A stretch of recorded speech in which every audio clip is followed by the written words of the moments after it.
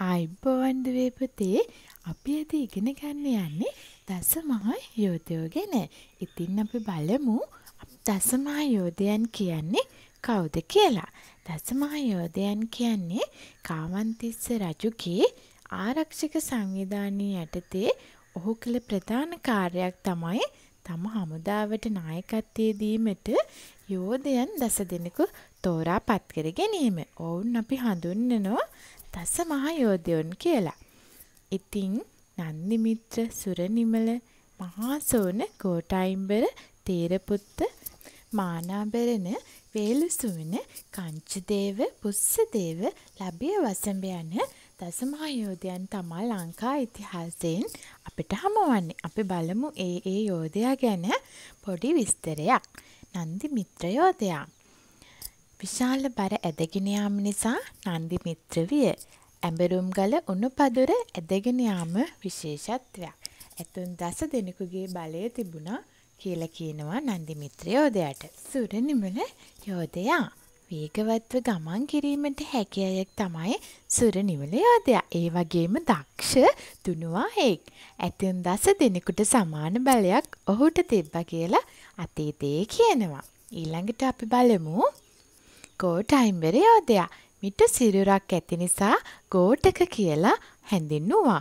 පොල්ගස් සොලවා කුරුම්බ බිම හෙලීම ඔහුගේ දක්ෂකමක්. රිටිගල විසූ ජයසේන නම් යක්ෂයා සමග සටන් කරා කියලත් ජනප්‍රවාදවල සඳහන් වෙනවා.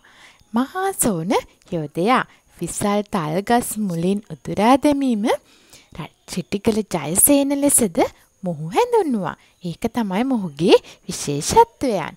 තේරපුත්ත යෝධයා සුවිශාල ගල් එසවීමට ඇති හැකියාව ඔහුගේ විශේෂත්වයක්. ඒ වගේම යකතාවකින් පොල් තල්ගස් කඳන් බිම හෙලීමත් සිදු කරා. ඒ වගේම ඔහු ජීවිතයේ අන්තිම කාලේ පැවිදි වුණා කියලත් පොත්පත්වල සඳහන් වෙනවා. මානාබෙරෙන යෝධයා කැලේට ගිහින් මුවන් ගෝනුන් ඌරන් එක පහරින් බිඳහෙලීම ඔහුගේ තියෙන විශේෂ හැකියාවක්.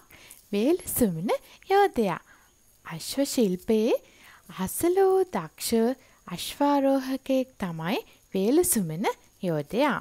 කංචදේව සතුරන්ගේ කකුල් දෙකින් අල්ලා කරකවා ඈතට විසිකිරීම කඩුදුල් ශිල්පයට දක්ෂවීම මොහුගේ විශේෂත්වයක්.